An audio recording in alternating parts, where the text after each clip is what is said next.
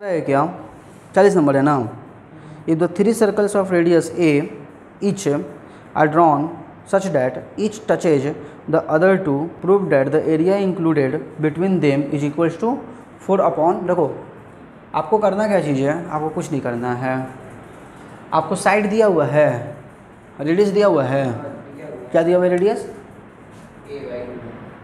Radius diameter दिया है क्या? ए रेडियस दिया है। वही ना। रेडियस ऑफ़ इच सर्कल क्या दिया हुआ है? ए दिया हुआ है आपका? आपसे पूछ रहा है क्या? क्या पूछ रहा है?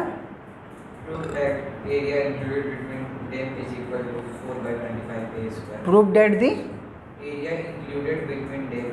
area included between them is equal four upon twenty five a square यही ना? मतलब आपको ये वाला एरिया बताना है। यही ना? तो चलो आओ ये सेंटर मान लेते हैं ये सेंटर मान लेते हैं और ये सेंटर मान लेते हैं। तो बताओ ये ए हुआ? बोलो ये भी ए हुआ? हैं? हाँ। ऐसे बनाओ सीधा बनाओ एकदम। स्ट्रेट बनाओ।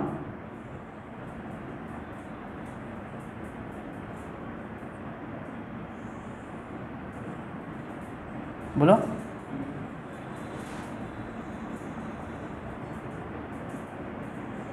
ये तुम्हारा इक्विलेटरल ट्रायंगल बनेगा। ये भी ए ये भी ए ये भी ए ये भी ए ये भी ए बोल भाई। बनेगा। ये ओ कर देते हैं, ये ओ डैश कर देते हैं ओ डबल डैश कर देते हैं। तो बताइए बताइए सिक्सटी डिग्री जा रहा है एंगल तो मेरा सिक्सटी डिग्री थीटा बनेगा। और निकाल लेंगे तीनों क्वाड्रेंट का एरिया मतलब तीनों सेक्टर का एरिया और एरिया ऑफ़ ट्रायंगल में से माइनस कर देंगे तो आ जाना चाहिए। चलिए कितना नंबर क्वेश्चन है? चालीस। चालीस नंबर क्वेश्चन है। क्वेश्चन यही है। आपको इसको दो पार्ट में चलना पड़ेगा। पहले निकालिए area of triangle area of equilateral triangle ना इक्विलेटरल ट्रायंगल फॉर्मूला याद है? बताए थे. Root three by four a square मतलब साइड स्क्वायर ठीक है? तो रूट थ्री बाई में फोर इंटू टू ए का होल स्क्वायर हो जाएगा। क्योंकि आपका साइड जो यहाँ पे हो जाएगा ए प्लस ए मिलकर टू ए हो जाएगा। Side of the triangle is equals to two a हो जाएगा। तो बोला जाए तो रूट थ्री अपॉन में four into four a square होगा। मतलब रूट थ्री ए स्क्वायर हो जाएगा स्क्वायर यूनिट ठीक है? अब एरिया ऑफ़ थ्री ट्रायंगल निकाल थ्री सेक्टर निकाल लिया जाए।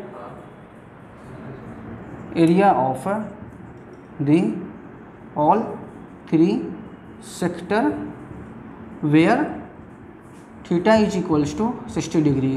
पता है कैसे? क्योंकि तो इक्विलेटर ट्रायंगल है हाँ, तो आपका थीटा सिक्सटी डिग्री होगा क्योंकि एंगल अगर सिक्सटी डिग्री बनाएगा इक्विलेटर ट्रायंगल में आपका। तो सर जी तो three into theta upon three sixty into pi r square होगा।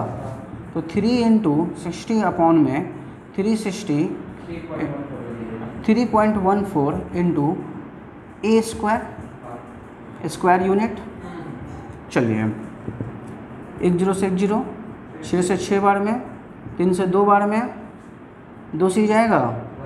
पंद्रह दूनी तीस, सात दूनी चौदह। क्या आ गया आपका? One point five seven a square ठीक है? मतलब आपका वन फिफ्टी सेवन अपॉन में हंड्रेड ए स्क्वायर होगा। बोल भाई बोलना there four area of the shaded region आपको शेडेड रीजन ना बताना है। तो शेडेड रीजन के लिए आप इक्विलेटरल ट्रायंगल में से ना माइनस कीजिएगा। तो रूट थ्री का मतलब one point seven three two a square minus one fifty seven upon में हंड्रेड ए स्क्वायर कितना दिया हुआ वैल्यू रूट थ्री का? 1.73 वन पॉइंट सेवन थ्री दिया हुआ है सिर्फ़। है चलो ठीक है, ले लो।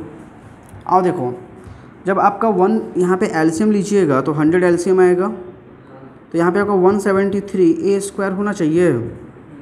क्योंकि आपका one seven, one point seven three से हंड्रेड से मल्टीप्लाई कराएँगे तो वन सेवेंटी थ्री देगा और minus one fifty seven a square हो जाएगा। तो बताओ भाई, तेरह में से सात गया छः। ठीक है? कितना बचा यहाँ पे? छः ना? छः में से पाँच गया एक। अपॉन में hundred a square square unit हुआ। अब इसको सॉल्व करते हैं तो क्या आना चाहिए? फोर अपॉन में ट्वेंटी फाइव ए स्क्वायर आ गया। बोलो हमको ही लाना है? आ गया प्रूव्ड चलो ठीक है। Next out